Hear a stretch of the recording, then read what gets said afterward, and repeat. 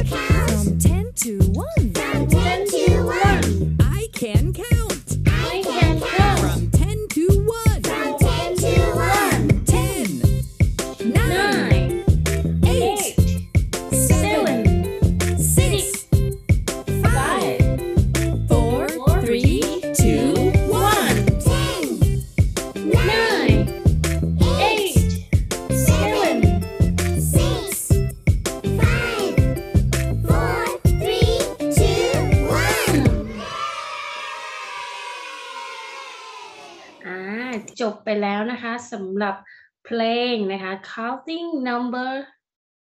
one to ten นะคะ การนับหนึ่งถึง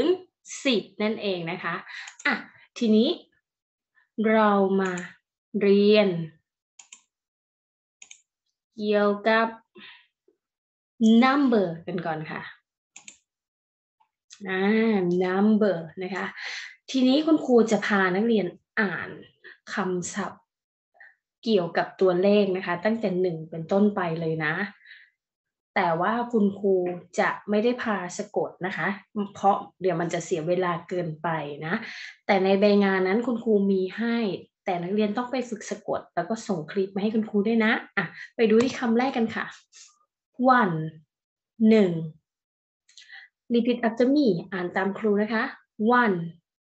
หนึ่ง two สอง three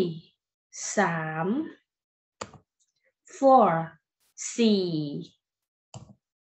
five ห้า six หก seven เจ็ด, eight, แปด, nine. เจ็ด eight แปด nine เก้า ten สิบ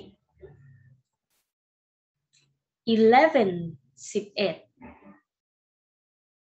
twelve สิบสอง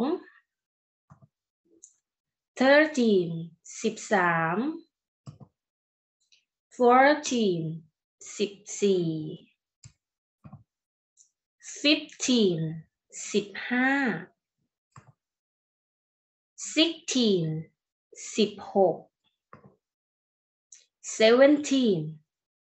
สิบเจ็ด eighteen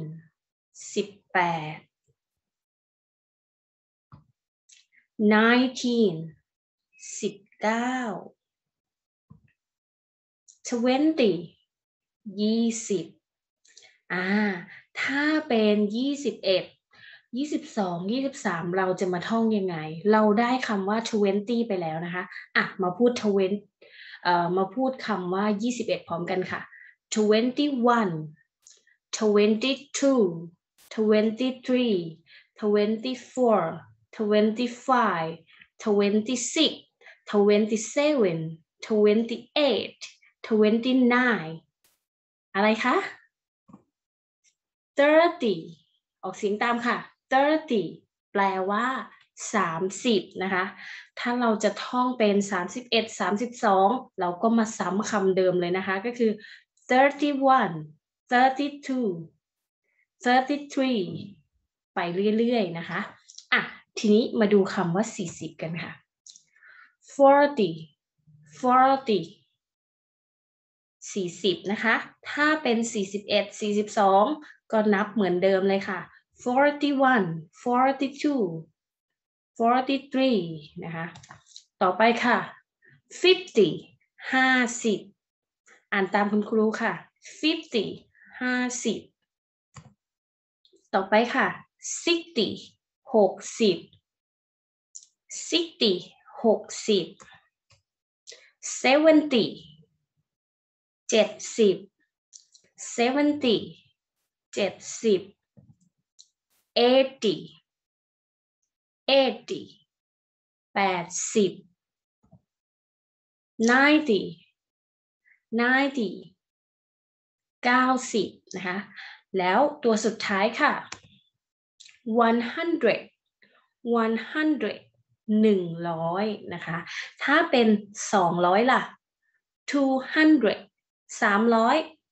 three hundred นะคะ ให้นักเรียนเข้าใจไปตามนี้เลยนะคะอะทีนี้ นักเรียนก็พอจะจำได้แล้ว ถูกไหม รู้จักหลักการเวลาท่องแล้วนะคะ ไปดูใบงานกันค่ะอ่าใบงานที่หนึ่งนะคะ ก็คือคุณครูเนี่ยจะให้นักเรียนเขียนตามรอยปะนะคะ แล้วก็ เขียนขึ้นมาใหม่ในบรรทัดล่างให้สวยๆ ตัวบรรจงนะคะ ตามรูปแบบที่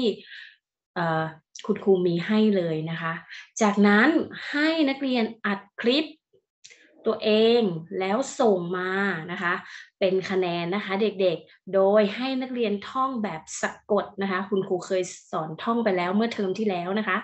อย่างเช่นยกตัวอย่างนะคะ O N E วัน หนึ่ง T W O 2 T H R W E 3 FOUR4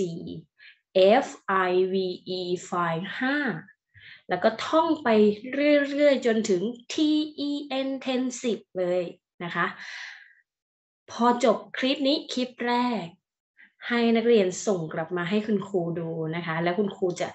ให้คะแนนนักเรียนในการท่องนะคะ นักเรียนสามารถดูได้นะคะ แต่ถ้าใครที่สามารถท่องได้โดยไม่ต้องดูก็จะดีมากค่ะ แต่ถ้าใครจำไม่ได้สามารถดูตามไปได้นะคะ ไม่ต้องรีบนะคะ ต่อไปนะคะก็จะเป็น 11 ถึง 20 นะคะ อีกหนึ่งคลิปเลย โดยให้สะกดเช่นกัน แล้วก็ให้ผู้ปกครองช่วยอัดคลิปส่งมาให้คุณครูนะคะ อย่างเช่น คำว่า 11 นะคะ e l e v e n 11 11 t w e l v e 12 12 แบบนี้นะคะ อะ อีกคำหนึ่งค่ะ t h i r t w e n 13 13 นะคะ ให้นักเรียนท่องประมาณนี้ โดยนักเรียนสามารถดูได้นะคะในใบงานก็จะมีถึง 30 40 50 60 70 ไปเรื่อยๆเลย แต่คำพูดนี้ไม่ต้องท่องนะคะ คุณครูให้ท่องเฉพาะ 1 ถึง 10 แล้วก็ 11 ถึง 20 นะคะ โดยให้นักเรียนสะกดด้วยนะคะ อะใบงานสุดท้ายค่ะ ก็คือให้นักเรียนนำคำศัพท์ที่อยู่ด้านบน มาเติมใต้ตัวเลขที่ปรากฏนี้ให้ถูกต้องนะคะ อย่างเช่น ตัวแรกเป็นเลขอะไรคะ11 นั่นเองนะคะ 11 ภาษาอังกฤษคือ eleven อะ มาดูกัน eleven อยู่ตรงไหน อ่า อยู่นี่ เราก็นำคำนี้มาเติมนะคะ ตัวที่สอง สามนะคะสามภาษาอังกฤษคือ three three อะมาดูกัน three อยู่ตรงไหน อ่า อยู่ตรงนี้นำมาเติมนะคะ ค่ะ เป็นยังไงบ้างคะสำหรับการเรียนเกี่ยวกับตัวเลขในวันนี้ คุณครูหวังว่านักเรียนจะสามารถจดจำได้ กลับไปฝึกท่องฝึกอ่านบ่อยๆนะคะ แล้วจะทำให้นักเรียนสามารถจดจำได้นะคะสำหรับวันนี้คุณครูขอลาไปก่อนนะคะ see you later. Goodbye